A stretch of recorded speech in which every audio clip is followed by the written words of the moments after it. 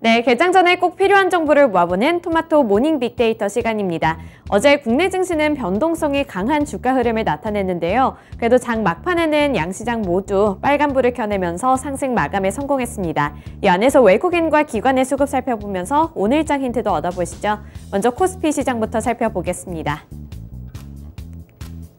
코스피 시장에서 외국인의 수급 리스트 먼저 살펴보시면 한화 에어로스페이스 그리고 HMM을 가장 많이 매수했습니다.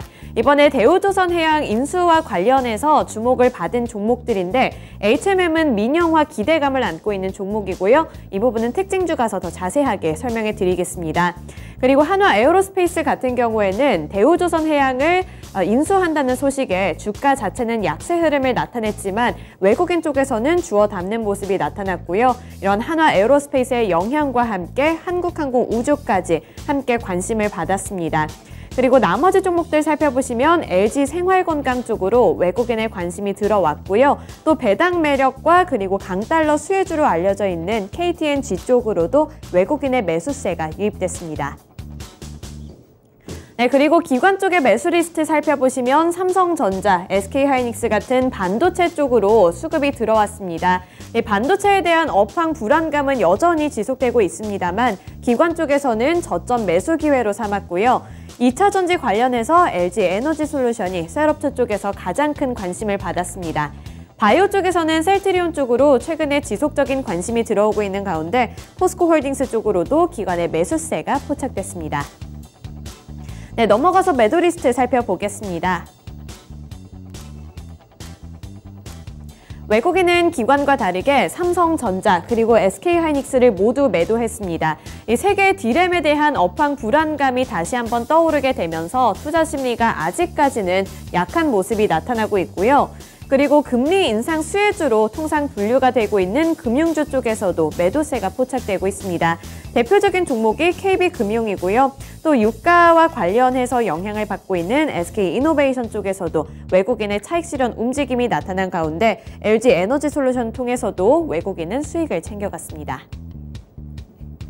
네, 그리고 기관 살펴보시면 한화 에어로스페이스 악재에 조금 더 민감하게 반응하면서 매도한 종목이고요.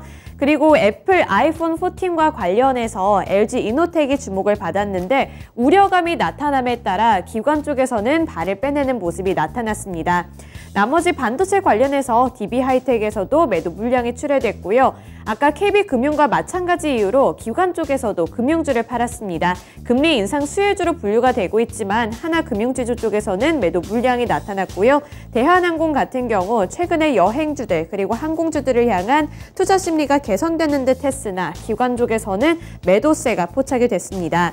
우선 어제는 일본 운항 확대와 일본 무비자 여행 여파로 인해서 항공주들이 괜찮은 흐름을 나타냈는데 기관 쪽에서는 장바구니에서 빼내는 모습이 나타났다는 점 염두에 두시길 바랍니다. 네, 넘어가서 코스피 시장에서의 특징주 살펴보시죠. 첫 번째로 HMM입니다. 민영화 기대감의 상승세를 나타낸 건데요. 어, 이번에 대우조선해양 매각설에 따라서 HMM까지 함께 관심을 받았습니다. 어, 산업은행이 대우조선해양 매각에 속도를 내고 있는 가운데 다음 민영화 타자로 거론되는 종목이 HMM이기 때문인데요. 산업은행은 HMM의 지분을 20.69% 보유한 최대 주주로서 산업은행이 21년간 품어온 이 대우조선 해양그룹을 매각하기로 함에 따라 HMM 쪽으로 돌아올 수혜까지 어, 관심을 받았습니다. 네, 넘어가서 두 번째 특징주 살펴보시죠. LG 이노텍입니다. LG 이노텍은 아이폰의 중국 시장 부진 영향에 관심을 받으면서 어, 주가는 하락세를 연출을 했습니다. 아, 최근에 아이폰 14과 관련해서 예약 판매량이 많다는 소식에 대표적인 관련 종목 LG 이노텍이 함께 탄력을 받았었는데요. 하지만 가장 큰 시장으로 여겨지고 있는 이 중국 쪽에서 아이폰 판매량이 부진할 수 있다는 우려감이 악재로 작용했습니다. 아이폰 15의 첫 3일간 판매량이 전작 아이폰 13보다 10.5% 낮았다고 발표가 났기 때문인데요. 이에 따라서 투자 심리가 냉랭해지면서 주가 역시 흘렀습니다. 네, 넘어가서 코스닥 시장 살펴보시죠. 코스닥 시장에서 외국인은 이번에도 2차 전지 관련주들을 매도, 매수하는 모습이 나타났습니다. 우선 대표적으로 성일 하이텍이 있는데요. 성일 하이텍은 폐 배터리 사업에 대한 기대감도 안고 있지만 이번에는 개별적인 호재 소식도 있었습니다. 이 부분은 특징주 가서 더 자세하게 설명해 드리도록 하겠고요. 그리고 밑으로 보시면 애플 관련주로 꼽히고 있는 BH 쪽에서는 매수세가 나타났습니다. 아이폰 14의 영향을 받으면서 주가 자체는 미미한 흐름을 나타냈지만 매수 리스트에 이름을 올렸고요. 나머지 TSE, 파라다이스, 코닉 오토메이션 쪽으로도 매수세가 포착이 됐는데 특히 파라다이스 같은 경우에도 개별 호재 소식이 있었습니다. 중국 쪽과 그리고 마카오 쪽의 호재 소식이 있었는데 카지노주들이 일제히 상승하는 가운데 파라다이스도 관심을 받았고요. 코닉 오토메이션 같은 경우 smart factory에 대한 기업 관련한 재평가가 부각되면서 외국인이 산 종목입니다. 네, 그리고 기관 살펴보시면 2차 전지 관련주들을 대거로 매수했습니다. 에코프로 BM, LNF, 에코프로가 있고요. 그리고 제약바이오주 쪽에서는 셀트리온 헬스케어와 알테오젠을 매수했습니다. 네, 넘어가서 매도 리스트 체크해 보시죠. 외국인은 이번에 2차 전지 소재 쪽에서 많은 매도 물량을 내놨습니다. LNF 그리고 에코프르가 있고요. 반도체 쪽에서 원익 QNC에서 매도 물량이 출회됐습니다. 그리고 게임과 엔터주 쪽에서 각각 하나씩 매도하는 모습이 나타났고요. 또 기관 살펴보시면 LG 이노텍과 비슷하게 BH도 애플 관련주로 분류되면서 기관은 여전히 악재에 조금 더 민감하게 반응하고 있습니다. 그리고 최근에 상장한 오픈엣지 테크놀로지 쪽에서도 다시 한번 매도 물량이 출회됐고요. 나머지 레이크 머티리얼즈, 오스템 임플란트에서도 기관의 매도세가 포착됐습니다. 네, 넘어가서 코스닥 시장에서의 특징주 살펴보시죠.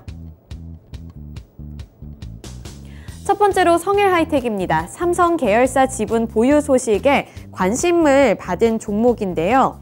어, 지난 27일 한국거래소에 따르면 이 성일 하이텍의 주가는 8.94% 어, 상승을 했습니다. 삼성 SDI 등 삼성 계열사들이 성일 하이텍의 지분을 갖고 있다는 점이 부각받았기 때문인데요. 이러한 소식이 호재로 작용되면서 성일 하이텍의 주가 역시 급등한 채로 마감했습니다. 네, 넘어가서 두 번째 특징주 살펴보시죠.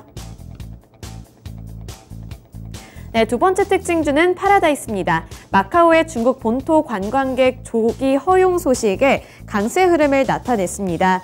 마카오 정부가 이르면 오는 11월부터 중국 본토 관광객 입국을 허용한다는 보도에 국내 카지노주가 일제히 상승했습니다. 그 중에서도 가장 큰 수급적인 관심을 받은 종목이 파라다이스고요. 파라다이스 쪽으로 관심도가 많이 몰리게 되면서 주가 역시 상승한 채로 마감했습니다.